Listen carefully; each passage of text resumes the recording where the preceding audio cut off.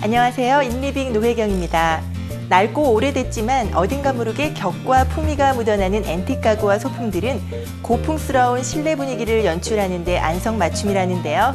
오늘 비지인에선 antique에 대한 정보 준비했습니다. 함께 보시죠.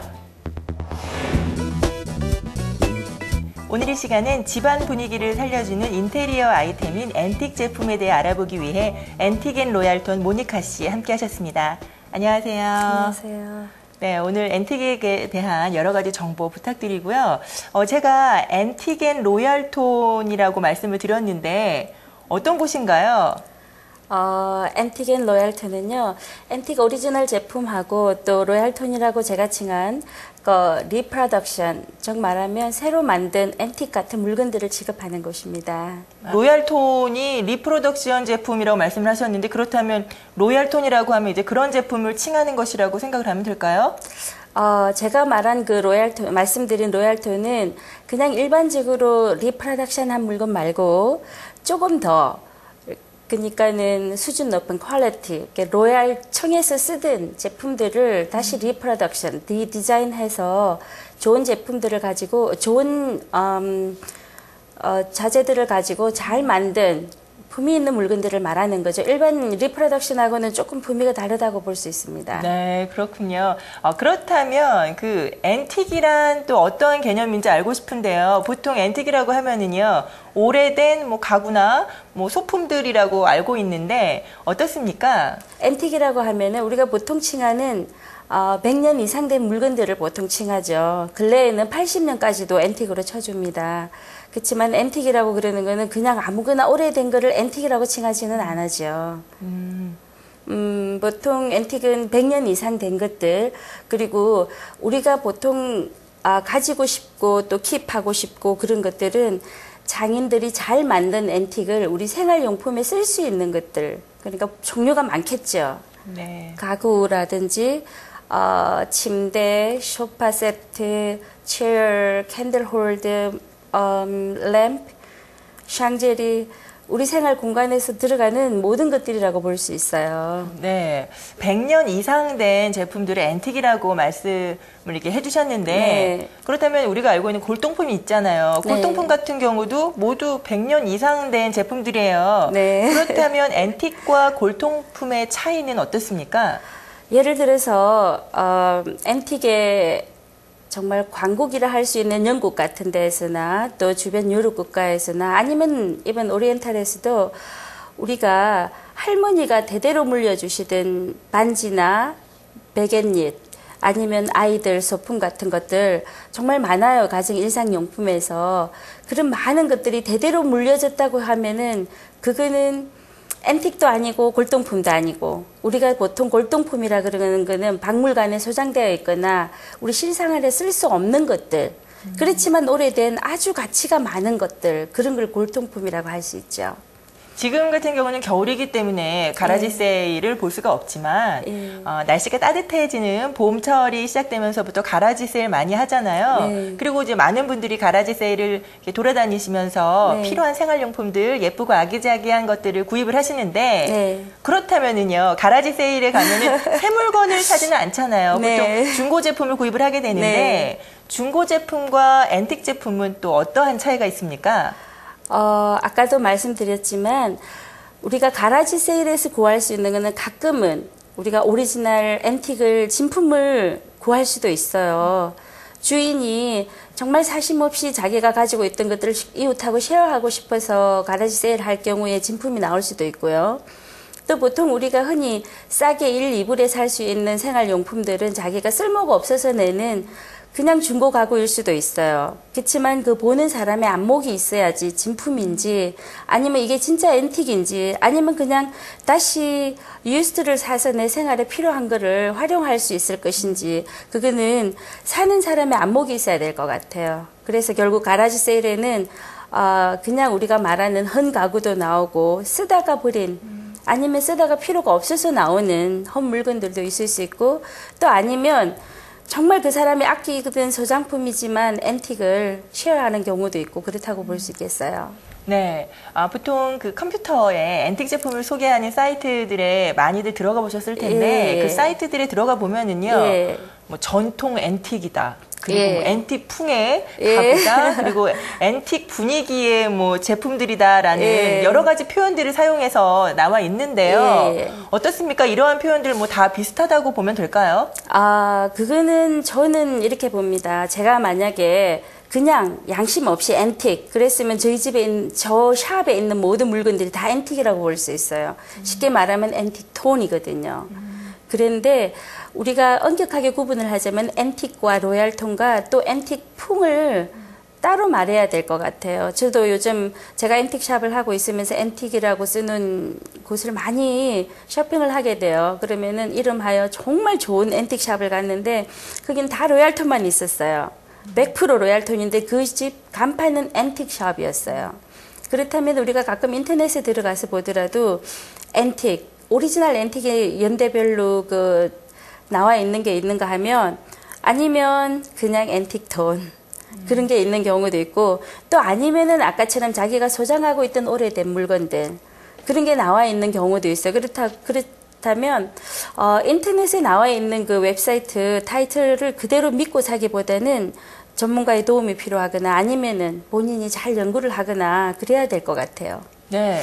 그리고 그 한국에서는요, 예. 이제 보통 제 친구들이랑 얘기를 한번 해보니까, 네. 어, 앤틱 가구라고 얘기를 할 때, 그 컬러가 brown color가 예. 나는 것들을 보고 어 이거는 antique color야 그래서 예. 뭐 antique이라고 뭐 말할 수 있어라는 예. 말들을 종종 하던데 예. 어떻습니까? 그 컬러를 가지고도 뭐 antique이라고 말을 할 수 있는 건가요? 그럴 수는 없어요. 왜냐하면은 영국에서 처음에 antique은 mahogany나 brown color를 많이 썼어요. 그래서 잘 모르는 사람들이 antique color 그러면은 mahogany color나 brown color를 선뜻 떠올리기 쉽지만 처음 우리가 antique에 유래된 것은 궁중이나 영국의 지주들이나 이렇게 정말 귀족들이 쓰던 것들이 그 장인이 만든 것들이 유래되어서 내려온 것들이 antique이거든요. 그렇다면은 golden tone, silver tone, 그리고 mahogany tone, cherry wood tone, red tone도 될수 있어요. 각종 톤 그렇다고 어느 mahogany tone만 가지고 antique tone은 아니고 사람들이 모르기 때문에 하물며 brown color를 antique 네. color라고 말하기도 네. 하지요. 그렇다면 antique은 컬러가 다양합니다. 네. 그리고 그 antique이라고 하면은요, 네. 보통 유럽풍의 네. 그러한 뭐 오래된 가구, 고가구들을 네. 말을 하는데, 하지만 그 한국이라든지 중국에도 오래된 좀 antique이라고 할 수 있는 제품들이 있잖아요. 예. 뭐 이러한 제품들은 예. antique에 포함되지 않는 겁니까? 아, 그거는 아니에요. antique의 붐이 일어난 곳이 영국에서 지금으로부터 250년 전에 일어났어요.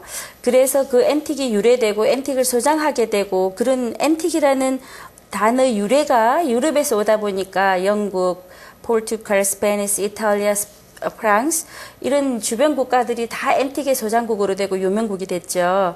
그렇지만 한국이나 아니면은 중국이나 일본에도 앤틱은 얼마든지 있어요. 인도나. 그런데 그 사람들은 어, 대중적으로 그걸 재사용하기보다는 골동품으로서 특정인이 소장하다가 박물관으로 가는 경우가 많았겠죠. 그렇지만 대중에 어, 개중에는 중국이나 한국이나 일본도 앤틱이 많이 지금은 어, 상통되고 있다고 봐요. 여기 앤틱샵에도 가끔 한국 그 약장 네. 그런 거라든지 작은 소품들이 가끔 발견돼요. 네. 그럼 그 앤틱의 가치는 과연 어떻게 평가되는지도 알고 싶은데 예. 특별한 기준이 있습니까? 뭐 무조건 오래됐다고 좋은 가치를 네. 주는 건 아닐 것 같은데요. 그렇죠. 음, 예를 들면은 앤틱은 그냥 아무나 만들어서 예를 들어서 어떤 특정 장인이 A라는 사람은 너무나 그 가구를 잘 만드는 특정 장인이고 또 B라는 사람은 그게 너무 좋아서 모조품으로 만들어서 그냥 막 썼어요. 예를 들면 서울의 어떤 A라는 장인이 어, 소파를 100개를 만들어서 그 시대에 쓰던 게 유래돼서 지금까지 내려온다면 은 그거는 엄청난 앤틱이죠. 그런데 그게 너무 좋아서 전 서울시에 있는 가구점이 다 똑같은 걸 만들어서 그냥 썼어요. 그게 흘러서 내려왔다면 그거는 antique하고 가치가 많이 틀려지겠죠. 그 antique의 역사는 또 뭐 과연 얼마나 됐는지도 알고 싶은데요. 어떤가요? 어, 우리가 보통 antique의 역사를 잘 모르고 있는 분들이 많으세요. antique mania라고 하면서도 와가지고 brown color면 다 antique인 줄 알고 음, 네. 조각이 많으면 antique인 줄 알고 또 리프로덕션도 입은 모르면서, 모르시면서 많이 사시는 경우가 있는데 어, 앤틱의 역사는 지금으로부터 한 250년 전 정도라고 볼 수 있겠어요. 영국 조사 시대에 한 왕이 앤틱을 너무 좋아하면서 그때의 대형 박물관이 생기고 또 앤틱에 소장하게 되고 앤틱을 또 가치를 평가받게 되고 그렇게 네. 되기 시작한 것 같아요. 예. 때문에 각 시대에 따라서 네. 앤틱의 스타일도 네. 여러 가지로 이제 변화됐을 것 같은데요. 네, 네. 어떻습니까? 1558년 엘리자베스 1세의 스타일을 엘리자베산 그리고 1603년도 제임스 1세 자고피안 스타일이라고 하고요. 그때는 르네상스 영향을 많이 받았어요. 그 다음 1625년부터 1750년대까지를 찰스 1세 저 그때 시대 어, 작품들을 바로크 시대라고 그러는데 보통 사람들이 잘 모르시면서 바로크 시대라고 그냥 말씀하세요. 그걸 다시 말씀드리면 1625년부터 1750년도까지 그 제품들을 말씀드리고요. 그 다음에 1714년 조지 1세 Georgian style이라고 하면서 또 로코코 영향을 많이 받고 있죠. 이건 다시 세계사 영, 공부를 좀 많이 하셔야 될것 네. 같아요. 그 다음 1837년 결국 Victorian 영향을 받았죠. 그래서 Victorian이나 Arts and Craft 영향을 받은 것이죠. 그래서 요즘 Victorian style은 많이 사람들이 소장하고 계세요. 이렇게 체어에 바퀴가 달렸거나 또 그 나무 쓴 특질이나 이런 거 보면은 사람들이 어 이거 Victorian 시대네 그러면서 많이 알고 계세요 antique mania 분들이 그 다음 이제 시작된 것이 1910년부터 1936년대 앤틱 가구가 그때부터 마치 이제 붐을 일지요. 그래서 지금까지 어, European들이나 이쪽 북부 사람들이 antique을 많이 소장하고 정말 앤틱 광이라고 할 수 있게끔 연, 연결이 된 것 같아요. 네, 지금까지 그 각 시대별 antique style에 대해서 말씀해 예. 주셨는데 예. 우리가 이제 식별할 수 있는 그래도 뭐, 뭐 로코코 시대, 뭐 바로크 시대 그렇게 말- 여러 가지 말씀해 주셨는데 예. 가장 좀 부각되는 뭐 특징들이 있잖아요. 예. 쉽게 설명해 주시면 예. 좋겠는데요. 1558년대 그때 시작된 antique은 고딕이에요. 보통 golden이나 고딕인데 사람들이 앤틱 그러면은 brown tone이어야 되는 줄 알고 보통 antique shop에 오셔가지고 brown tone만 찾으세요. 뭐 mahogany color.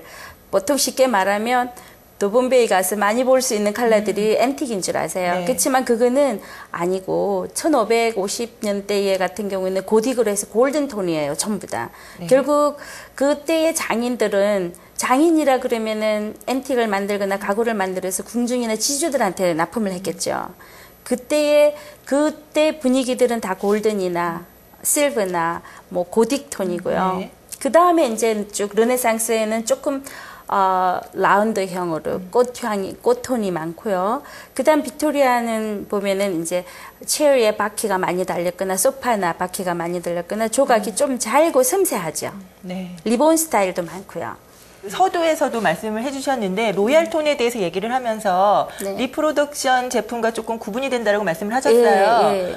그렇다면 그 reproduction 제품이랑 구체적으로 어떤 것인지 또한 뭐 어떠한 특징들이 있는지도 알고 싶은데요. 예, 그러면 예를 들어서 제가 이제 장인들이 만든 어, 좋은 antique이라고 계속 말씀드렸는데 장인들이 만든 좋은 antique이 과연 몇 점이나 지금까지 열, 흘러올 수 있겠어요. 예. 그건 안 되거든요. 그래서 지금 유럽에서나 유명한 디자이너들이 그때의 그 디자인이 그 시대에 맞았다면 그 디자인들이나 어, 정말 아름다운 미적 감각이라든지 생활에 또 접속될 수 있는 모든 감각들을 현대의 디자이너들이 그때 거를 최대한 살려서 현대에 맞게 가장 우아하고 멋있고 지금 현재 예를 들면은 옛날 같은 경우는 집 구조나 스타일이나 주변이 달랐어요. 그럼 또 지금은 또 변했어요. 네. 그러면은 그때 그 시대의 거를 접속시켜서 지금 시대에 가장 예쁘고 가장 우아하고 잘 맞게 디자인을 해서 가장 좋은 소재를 써서 만든 품격 높은 가구라고 네. 가구나 그림이나 소품들이 되죠.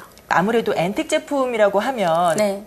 가격들이 만만치는 않아요. 정말 네. 뭐 전통 앤틱 같은 경우는 정말 꿈도 못 꾸는 그렇죠. 가격이고, 예. 예. 그나마 이제 우리가 저 같은 경우에 네. 탐을 낼 수 있는 게 있다면 네. 좀 전에 말씀해 주신 reproduction 제품일 예. 것 같은데 예. 구입 시 뭐 전통 antique이라든지 뭐 이런 제품들을 구입을 할때 네. 구입 시 요령이라든지 네. 아니면 주의사항이 있다면 어떤 것들이 있을까요? 어, 어, 맞는 답이 될지 모르지만 저 같은 경우에는 제가 이제 antique을 정말 좋아하죠. antique, antique하고 royal tone을 같이 겸해서 샵을 하는 이유가 네. 제가 들면 예를 들면은 어, 그 집을 아니면 우리 집이나 누구 제가 staging 할 때 그 마땅한 집을 꾸며줄 때요.